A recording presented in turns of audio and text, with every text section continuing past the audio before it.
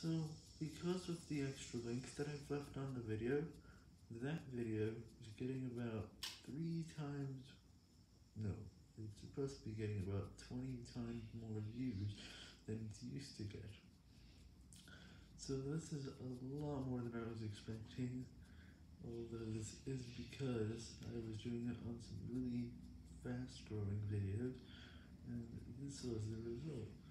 I made over a hundred views for all of the extra views in four hours that those videos got. This is a lot. When we're only getting 20 views per hour, this is a lot. Especially when we're dealing with about 30 views per hour coming into the video, enough to really help our channel.